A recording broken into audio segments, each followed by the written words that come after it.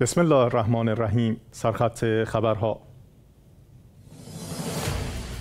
بروز نگرانی ها از ورود هوش مصنوعی به صحنه های نبرد و جنگ